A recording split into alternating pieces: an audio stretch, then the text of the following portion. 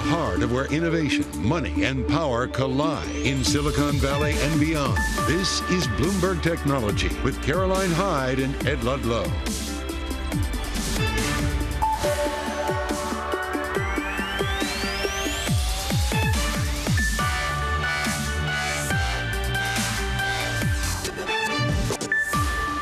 I'm Scarlet Fu in for Caroline Hyde at Bloomberg's World Headquarters in New York. And I'm Alex Barinka in for Ed Ludlow in San Francisco. This is Bloomberg Technology. Coming up, quite an announcement. Elon Musk teases Ron DeSantis' campaign debut on Twitter Spaces tonight. We will discuss what it signals for the future of the platform. And sticking with social media, we'll discuss the Surgeon General's warning that it could be harming children. More on the impact that platforms like TikTok and Instagram have on society. Plus, we'll talk artificial intelligence with one AI robotic startup raising $70 million to help develop a humanoid robot. All that and a lot more coming up. But first, we got to get you a check on the markets. Uh, clearly, the focus is on the debt ceiling and talks to resolve and perhaps suspend or perhaps raise the debt ceiling. And we know that the president and Speaker of the House, Kevin McCarthy, are meeting at this moment after a press conference by the Speaker. What you're looking at right now is a decline in equities, a risk off scenario. The NASDAQ 100 losing nine tenths of 1%, the second day of losses after finishing at around about a 13 month high earlier in the week. And this is a global retreat from risk. You see the Stoxx 600 losing the most in two months, a sharp sell off there because on top of the possibility of a U.S. default. You also had UK inflation rising more than expected. In addition, there are big questions over the health of China's economy, too. You had European luxury companies like uh, Richemont as well as LVMH declining on a wave of COVID infections in China. Now, speaking of which, the CSI 300 losing 1.4% overnight in Asia. So much for that China reopening trade. A lot of questions now about what happens going forward for China, especially as it has signaled no stimulus on the way. Uh, we know that China's stock stock index has erased all of its gains for so far this year. And any kind of China growth concerns obviously shows up in the commodity space. And so you see copper futures in the U.S. losing almost 3% on the day. In the U.K., copper fell below $8,000 a ton for the first time in half a year. But clearly, the big overhang over global markets is really the lack of progress, let alone resolution on the U.S. debt ceiling as we move closer to the day that Washington runs out of cash. This is a look at how the stalemate is disrupting the short term U.S. Treasury market. The lines at the bottom here, over here, they track the yields of bills that mature in May, which would be before Janet Yellen's ex date of June 1st. The lines at the top here, you could see they're all above 6% at the moment. These are yields on bills that mature in early to mid June, anywhere from June 1st to June 15th. The difference between what investors are theoret- theoretically demanding to get paid to hold a bill maturing on June 1st versus, say, May 30th is more than three percentage points. Alex, that is the risk that is being priced in right now. Now, I can tell you what I'm watching over here, Scarlet, is some of the tech movers or the tech big newsy stories today. Meta mar- marks the last day for them on their big rounds of layoffs. The social media giant is in what it calls its year of efficiency in 2023, and they are capping off firing about 10,000 people. My sources tell me that the email went out this morning at 5 a.m. to impact employees, but on the market front, the shares are little change. I expect this is because much of that upside that Meta's seen from its cost cuts have largely been priced into the shares, uh, but the employees are certainly being impacted today. The second thing I'm looking at, Scarlet, I want to take us over to the semiconductor industry. NVIDIA is down just over 2.5%. It's been one of the hottest chip stocks this year, more than doubling in 2023 because they sell semiconductors that power AI technology. But today, it seems like investors are taking a little bit of that heat off before the company reports earnings after the close. Now, I want to keep us with chips on analog devices.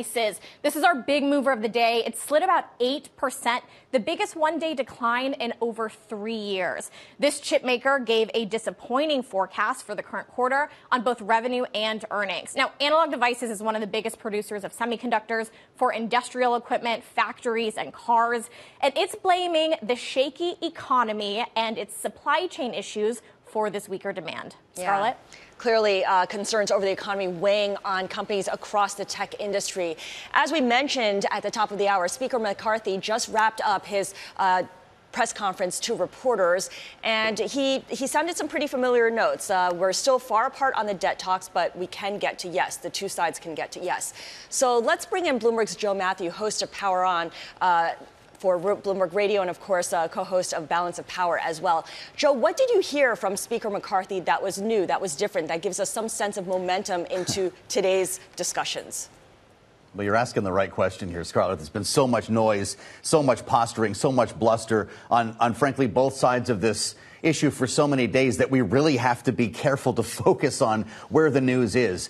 And, and if we listen to what Speaker McCarthy just said, it's actually fairly positive. He was clearly expressing frustration about what's happening here. He thinks that the president should have sat down with him uh, many weeks before this process got started. But two things jump out to me. Number one, he said, We can make progress today. And I'll remind everybody that negotiators are back at the table in the White House office building next door to the West Wing as we speak. They just started that meeting a couple of moments ago. He also said, I'm not going to give up. We won't default. That's the important takeaway, certainly for market watchers who are trying to figure out what is going to happen here. It's unclear exactly what's going to end up in this deal, but as long as the posture remains progress, we will not default on both sides of the table here, we might be able to figure this out. The problem is the timeline, of course. As you mentioned, Janet Yellen still looking at June 1st, mm-hmm. as early as June 1st, as an X date, and we are running out of time quickly. If he wants lawmakers to have 72 hours to read a final bill, the question is is this going to be a working holiday for lawmakers? And we'll probably find that out tomorrow. Now, Joe, um, there was talk of progress from McCarthy. There was also talk of not raising spending levels. So to me, that sounds like yeah. he expects something to give. Is that work requirements? Is that uh, revenue, taxing? Where do you think uh, is kind of the most uh, area that we might see some folks meeting in the middle here as these negotiations go on today? These are great questions, and they're difficult to answer, and it's really only the people in the room. In fact, I'm not sure negotiators could answer that question at the moment. But yeah, in terms of spending cuts and budget caps, this is an important part of this. Speaker McCarthy wants us to go back to fiscal year 22 levels.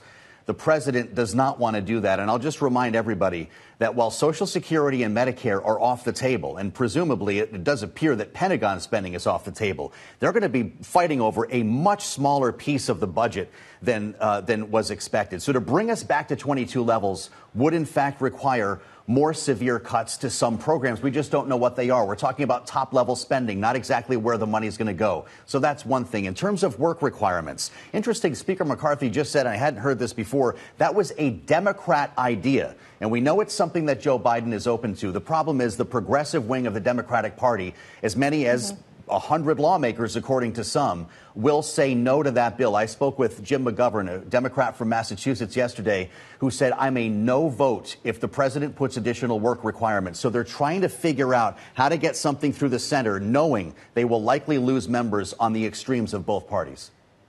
Bloomberg's Joe Mathieu, thanks for bringing us the latest on McCarthy's words this morning. Now, let's stick with Washington. Florida Governor Ron DeSantis is expected to debut his presidential campaign tonight with Elon Musk on Twitter Spaces. While Musk didn't outright confirm the news, he did hint at something big. We'll be interviewing um, Ron DeSantis, and he has quite an announcement to make. Um, and will be, the first time that something like this is happening on social media and with uh, real-time questions and answers, uh, not, not scripted. Uh, so it's going to be live and let, let, let, let her up. Let's see what happens. With us for more on the impact on Twitter of this special announcement is Bloomberg's Aisha Counts. Aisha, this is a little bit of an unprecedented moment um, for the CEO of a social media company to actually be bringing in a, a candidate from one potential party for what we think will be his presidential announcement. Tell me a little bit, what's the read through here then on how we see Elon Musk recasting Twitter in his image with moments like this? Yeah, I mean, when Elon Musk first took over Twitter, part of his reason for acquiring the company was to sort of make it this free speech platform, a platform that was nonpartisan, that was open to a range of voices. But what we've seen over the past months is something entirely different. He's amplified voices of people like DeSantis who are conservative, not just conservative, but more right wing. He's given airtime and amplification to some of these voices. And by hosting DeSantis, by having an interview with him on the platform, that is implicit support for him. And Musk has even been vocal about supporting Republican lawmakers in the past. And, and so it, it, really does paint this image of Twitter as a very partisan place, even though Musk has said otherwise.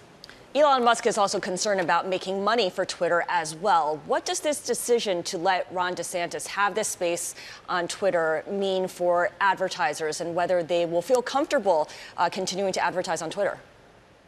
It's a great question because one of the reasons that advertisers have fled Twitter since Musk took over was around content moderation or what type of content their ads might be next to. So an advertiser doesn't want an ad to be next to misinformation or hate speech or, or, or violent speech. And so when you have DeSantis coming on who has these very polarizing views, that can create a challenge.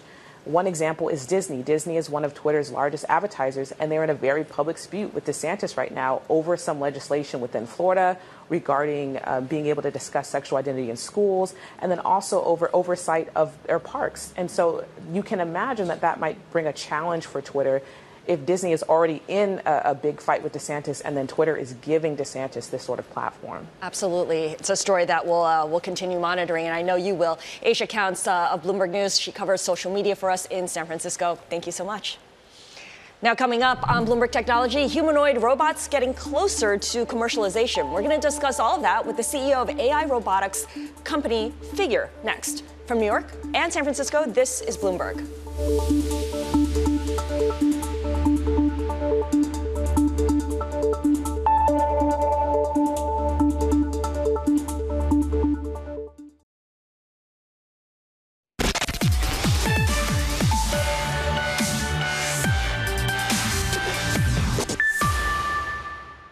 AI robotic startup Figure just raised $70 million to help develop a humanoid robot that it believes could one day take on a range of tasks traditionally performed by people and use that robot to address labor shortages, do dangerous jobs, and help support the global supply chain.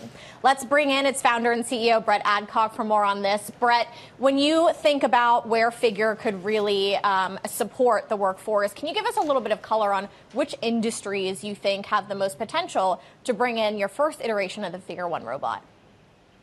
Yeah, well, thanks for having me on today. Um, I think from like a very long-term perspective, um, we're building humanoids to do any type of physical labor that humans do today.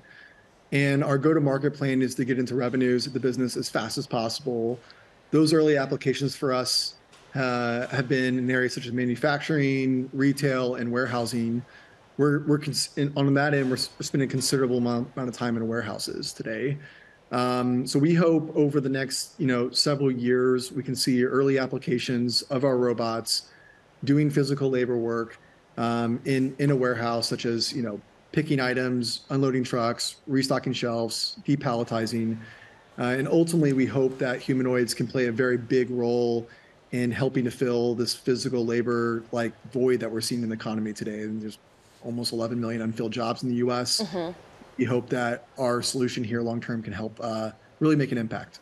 Brett, what you described sounds similar to how machines or robots currently sort and retrieve inventory inside Amazon's gigantic warehouses. Uh, how will you improve and refine that? Yeah, I think if you walk into like a warehouse today, or even like most most like you know companies, everything that could be automated is mostly automated today with just you know great robotic solutions overall. And there's a tremendous amount of work that's being done by humans that are kind of more complicated, that need extra degrees of freedom, that need to interact with some type, some sort of shelf that's hard for a robot to do, or at least a single purpose robot to do. And we we believe strongly that, you know, humans built this world around ourselves to interact with a human form. And so almost this like universal general interface is a human body. If we can build a robot that can interact with that physical world similar to humans, we can come in and do human type work day one.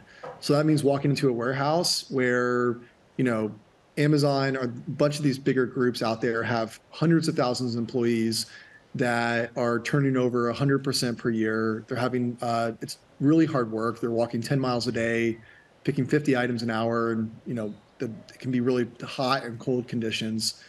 And um, there's basically a giant labor shortage happening here across uh-huh. that. And we hope that we can basically go in and start doing those applications without with basically minimal interaction or minimal changes to the environment.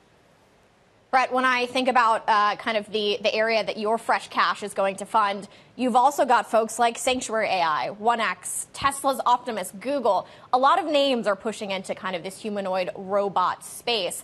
I would figure getting into a factory or a warehouse, um, those kind of clients don't want to change over from one tech to another. I'm sure the race is on. How are you looking to beat out that kind of big, also well funded competition? Yeah, the space is certainly getting um, like really heating up, which is I think really positive overall. Um, the ultimate goal for us is to do useful work. Like we need to basically walk in and see a robot doing like boring useful things all day long, and that's like the ultimate goal that we set out to in the near term is can we design a robot and can we test it? So in our lab here, we have a full warehouse built end to end. Uh, we're starting to have conversations with some of the bigger warehousing groups uh, worldwide and our goal is ultimately to prove that out. So we're spending a lot of this capital uh, today on just overall robot development and manufacturing. Uh, we're building out an end-to-end data engine so that our robots can get into the market, uh, ingest data to help train our neural nets, and then we're spending a lot of time on the commercial side. Like, what are the right, you know, first applications for us? And then ultimately how do we scale the robot across many applications over time? Sure. One of the big criticisms or concerns about uh, building more robots is they will take human jobs. And i know you've addressed how we have a giant labor shortage and so this is designed to help solve for that. But i wonder as you look at um, what the prospects for your humanoid robots are what kind of new jobs can be created because you have these humanoid robots? What do you foresee happening down the road I mean, you have an ability to basically scale into almost infinite amount of production. And it's going to be really incredible as we think about what this can do to GDP, what this can do to ultimately the economy when there's no like per capita constraints. Um, like ultimately, humanoids should be able to do any physical thing a human can. So if we have like infinite ability to scale humanoids, like what does that really do to the economy? It's it's quite hard to fathom. We hope that we fill this area in the labor market, which is we've seen tremendous amount of job shortages. We hope over time there's a consumer aspect of putting a humanoid in a home, helping care for the elderly, and we think there's a big market opportunity for space over time, and that humanoids can help colonize planets. So we think over time there's a wide range of applications, mm-hmm. even like you know, existing ones and also new we can deploy into. Um, I think to build like maybe one of the biggest businesses ever built. All right, well, I guess we'll see you on Mars then. Brett Adcock, uh, CEO of Figure, also founder of the robotics company. Thank you so much. Coming up on Bloomberg Technology, we've got more conversations from the Qatar Economic Forum, including one with Claure Group founder and CEO Marcelo Claure. This is Bloomberg.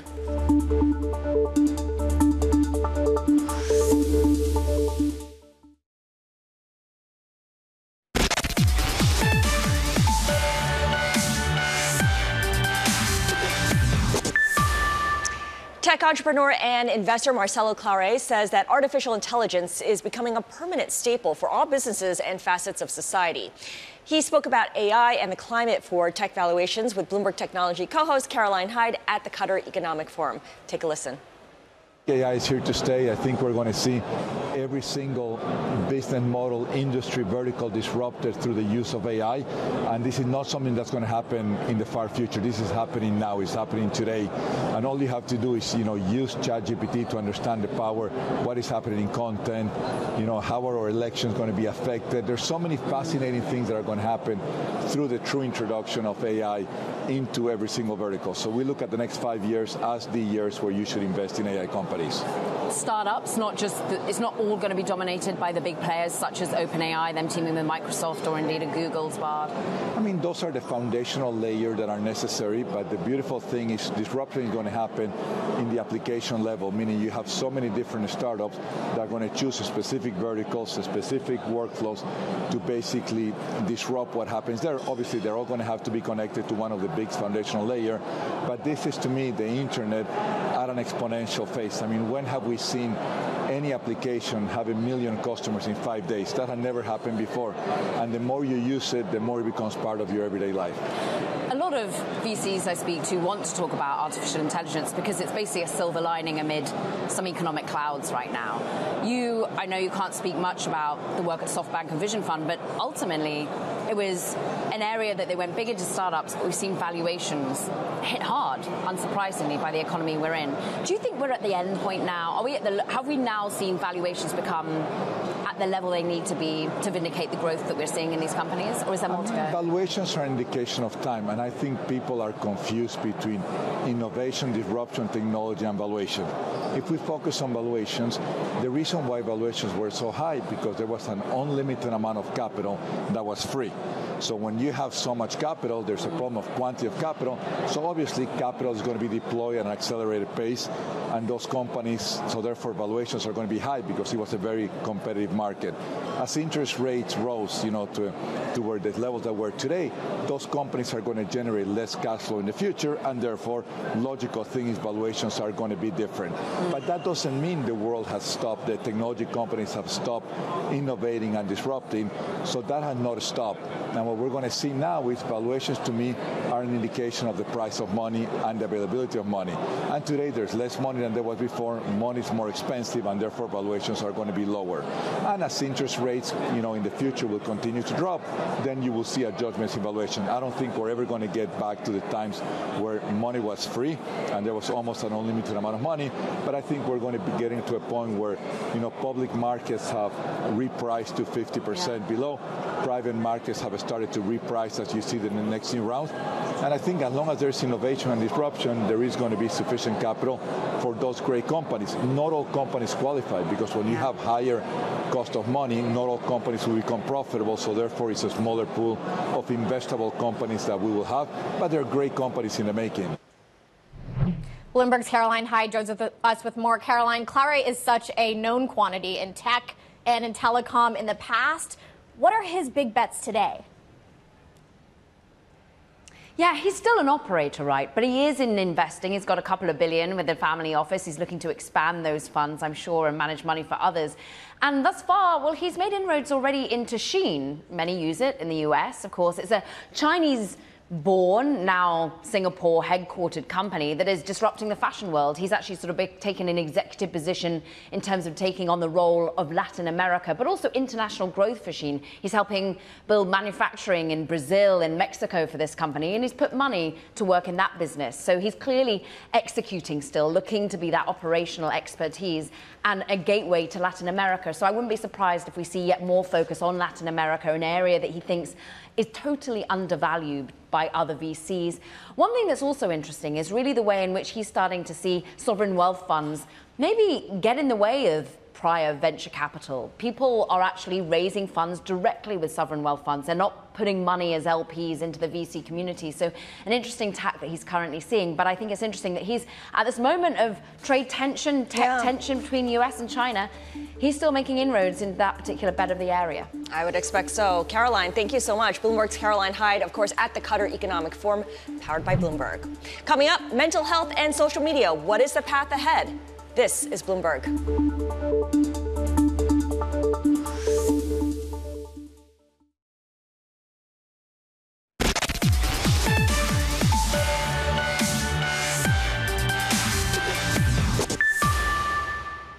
Welcome back to Bloomberg Technology. I'm Scarlet Fu in New York. And I'm Alex Barinka in San Francisco. We're halfway through the trading day here in New York, so let's get a check on the markets. And what you're seeing is a lot of red here on the screen.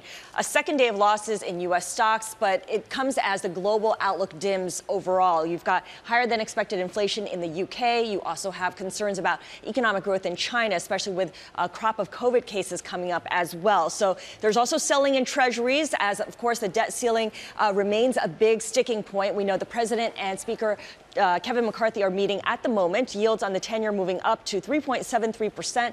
And within the U.S. equity market, a lot of pressure on financials. There are 72 big cap financial names in the U.S. market, and 71 of them are lower at the moment. One of them is Citigroup, off by 3% after it abandoned plans to sell its Mexican unit after talks had dragged on for more than a year. Citi was hoping that this divestment would yield about $7 billion, but the deal faces complications from Mexico's president. But I want to go back to tech names, of course, because if you look at the next screen here, this is a snapshot of the Bloomberg terminal. Tech names make up the top four advancers in the S&P 500 this year: Nvidia, Meta, AMD, and Salesforce. Now, of course, one of them, Nvidia, will be reporting earnings after the close. It has doubled in value in 2023, going from about $150 a share, just below, to above $300 of course, over all the excitement over AI. NVIDIA chips are used in computers that power AI applications, so it's become one of the most popular ways to gain exposure to this new hot trend. Meta, of course, is the other big performer here, but Meta is still about 10% below where it was at the start of 2021. Meantime, if you go back to the start of 2021, NVIDIA is up almost 130%. Alex? So, the U.S. Surgeon General Vivek Murthy issued an advisory that social media poses a risk to children's mental health. Joining us now is Adam Kovacevich, Chamber of Commerce, Chamber of Progress founder and CEO. Adam, I want to get your take on this. Uh, this idea that social media and kids are not necessarily the best combination, particularly those under the age of 13, isn't a new one. But there were some kind of new specifics that the Surgeon General mentioned, particularly around uh, who is most impacted. It was the most vulnerable kids, the ones who are being cyberbullied, the ones who might have body issues. And he also said that two in five kids between the age of 8 and 12 are on social media.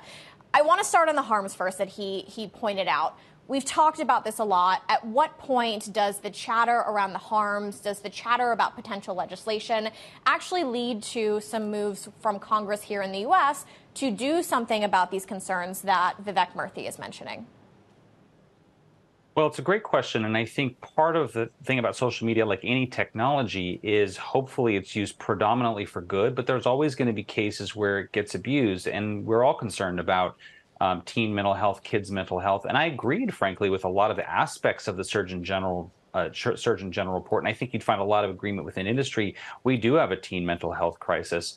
Um, no, ki- no kid or teen should be on spending three plus hours a day on social media. That was in the report. The report included a lot of good tips for parents around promoting you know, um, a moderate use of, of services, social media, tech-free zones in the home.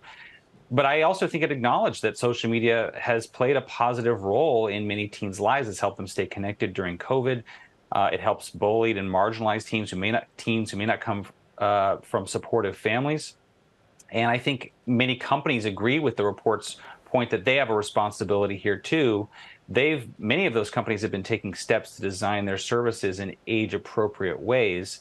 The last thing I'd say too is the report called for more research, and one of the interesting things is in terms of actual congressional action is Congress actually passed a law earlier this year called the CAMRA Act that actually gives uh, money to the National Institutes of Health to do much more research. The, the report today from the Surgeon General said most of the research on this question has really been about correlation and not really delved into causation. And I think that you know we need really no, more research to, to dig at that question. And Adam, in your role as CEO of the Chamber of Progress, I know that you interact with a lot of different executives across these companies. I do think we're in an interesting moment for the social media industry, given the cost cutting, the reprioritization on revenue growth. Just today, Meta is going through another round of layoffs, and we know a lot of those layoffs have hit um, some of these more ancillary things like research that don't play right into the top line in this moment in time, with these additional calls from the Surgeon General, do you think that these companies are resourcing enough against making sure that they're doing their part to protect from some of these harms that are being raised? Well, it's a concern. I think I would have liked to seen to have seen, for example, more acknowledgement in the report of what the companies have done. Um, so, for example, I think in the last two years, you've seen uh, Instagram, you know, introduce things like daily time limits and default private accounts for young teens, and more parental supervision tools on Instagram, recognizing that a young teen, a 13-year-old, is different from an older teen. Um, Google's done a lot. And yeah, I think things like layoffs could definitely have an impact, not just from the perspective of product um, design and having people to think think through these things, but research, as you said, content moderation. Content moderation is really important for teens having positive experiences.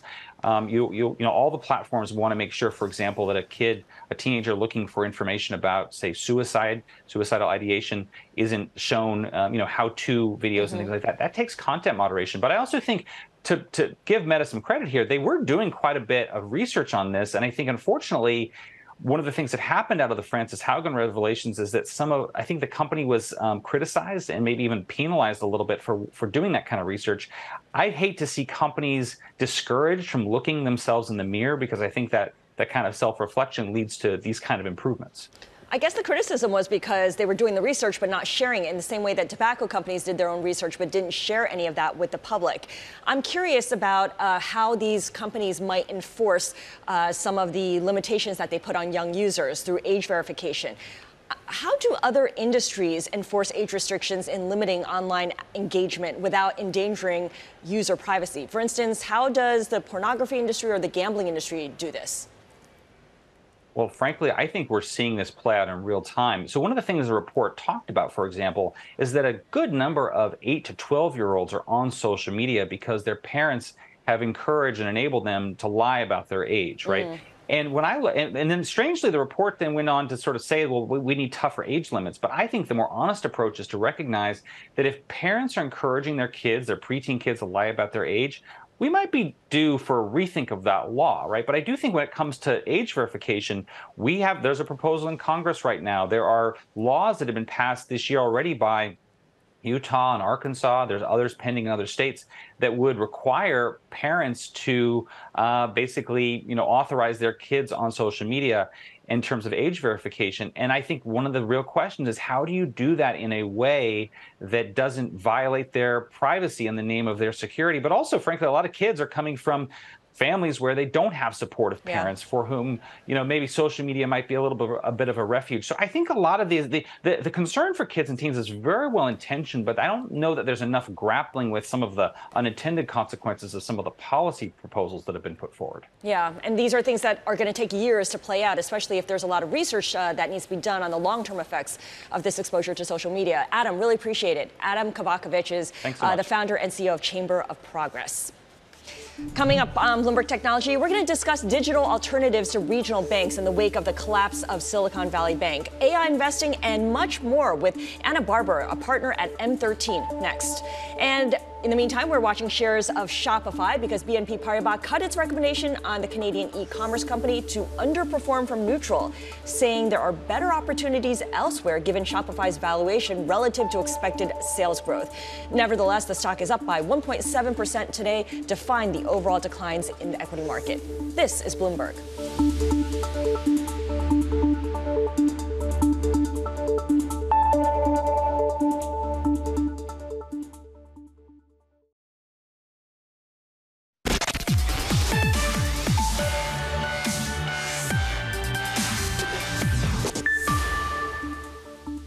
Conversations with a number of those uh, regional banks uh, because we're interested in, in buying uh, assets that they create.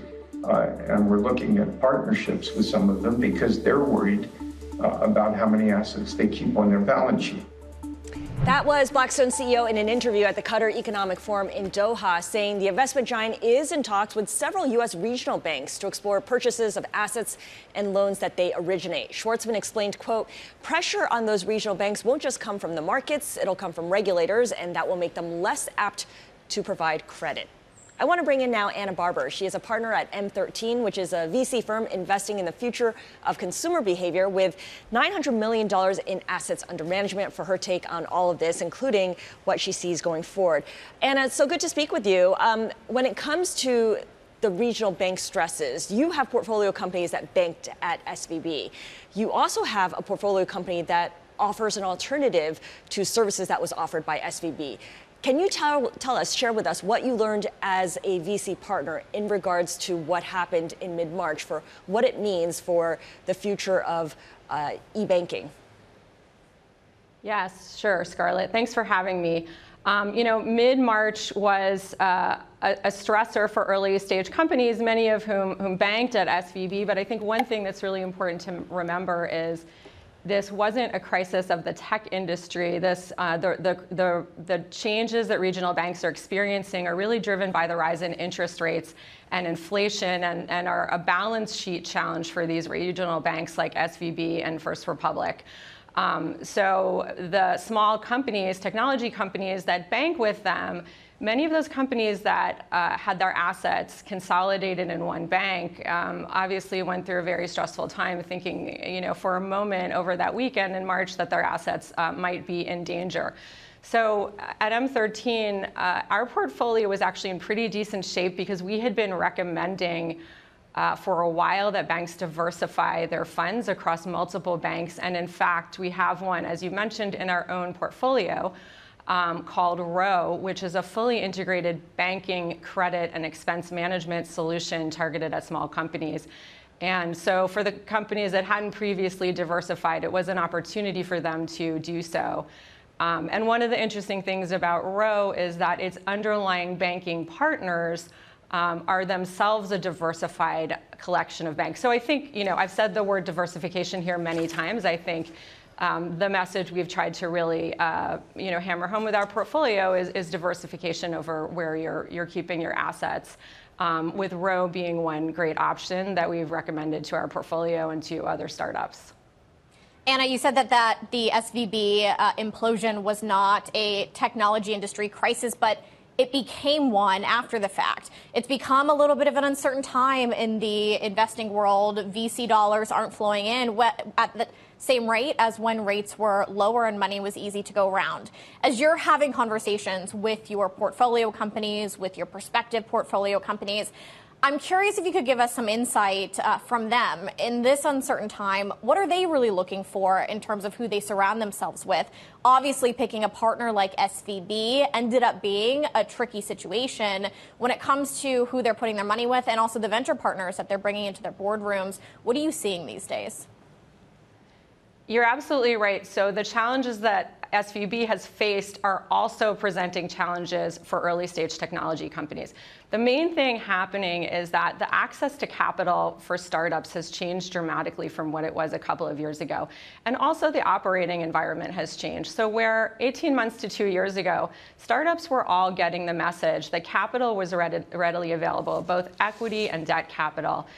Um, and that growth at all costs was really what we were looking for from them. Now, startups are getting a very different message, which is about profitable growth, about proving that you can get to cash flow break even. And we're now in an environment where cash is harder to come by. Investors are more conservative. Although I will say, what we're seeing really is just a return to the investing climate of, say, 2018, 2019 if you, if you think about what the anomaly is, it's not what the environment we're seeing today. The anomaly is really 20 2020 and 2021.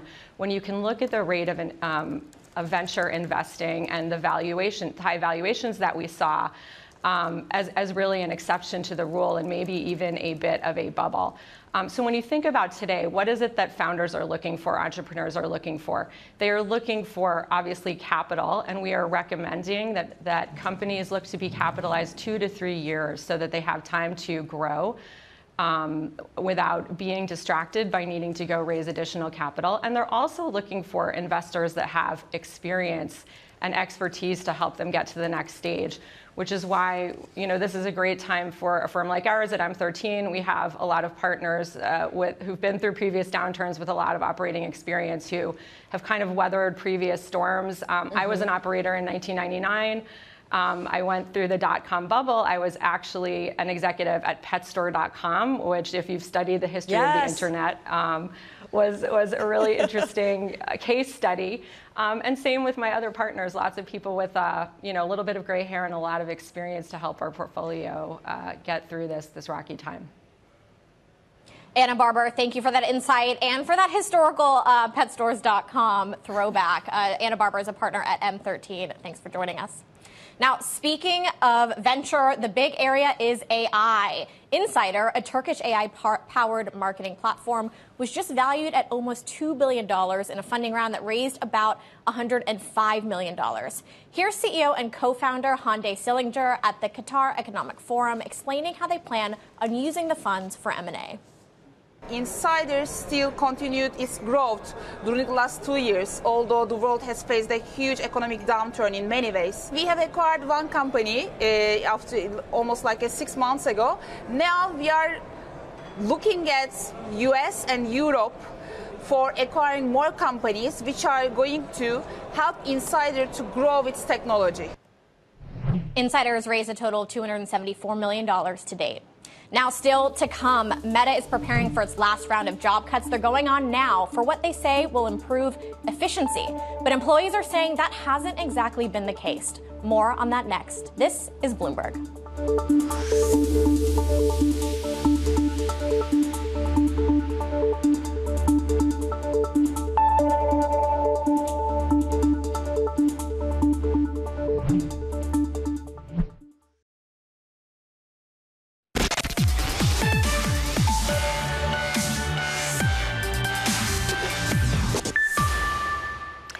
It's time now for Talking Tech. First up is Netflix, cracking down on account sharing in the U.S. The streaming service today outlined procedures and costs for customers who want to continue sharing their accounts with anyone outside their household. Netflix is giving them the option to share their account for an additional $8 a month. The crackdown on password sharing is a key part of Netflix's strategy to generate more revenue from existing users.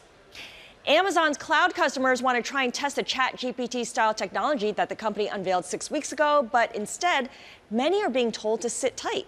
People familiar with the matter say AWS product launches, uh, or those in the AWS product launch space, say they wonder if Amazon perhaps released the AI tools before they were fully ready to go to push back against the perception that it's fallen behind cloud rivals Microsoft and Google. And PC and tablet maker Lenovo shares falling the most since October 2021. This after the company posted its first quarterly profit miss in more than six years. Sales fell slightly below estimates, while net income declined 72% in the first three months of the year. We know the global PC market shrank 29% during the quarter, signaling that the slump in demand is more persistent than anticipated. Alex? Well, Meta is going through its final round of job cuts today as part of CEO Mark Zuckerberg's restructuring plan that he announced in March. It impacts thousands of, of, employees who've been waiting to see if they are on the cut less list across their business departments. Bloomberg Sarah Frier is here for more details. Sarah, you and I covered this over the last two days. Um, we heard from our sources that in this kind of limbo period between Zuckerberg announcing the cuts were coming and these final emails going out at 5 a.m. Pacific time this morning to impacted employees, a lot has been on pause. Can you kind of talk through what the impact has been to Meta's business, all in the name of efficiency, to actually kind of wrap up this process? When the, when the first round of layoffs happened back in November, the 13% cuts of the workforce, employees got the sense that this wasn't the end. Wall Street loved it.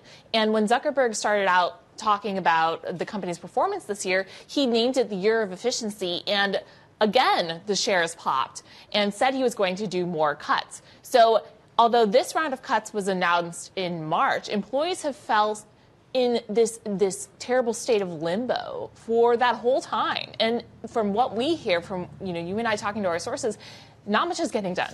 People don't know the priorities of the company. There isn't even a product roadmap that has been established for the rest of the year.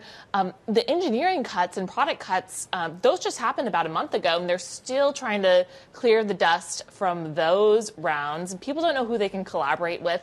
It's it's frankly been the opposite of efficient. And it's fascinating to me when I heard from a source uh, that there is no product roadmap. This is a tech company with a CEO who fancies himself a product expert. Uh, but Mark Zuckerberg has faced a lot of criticism for the direction he's taking the company in.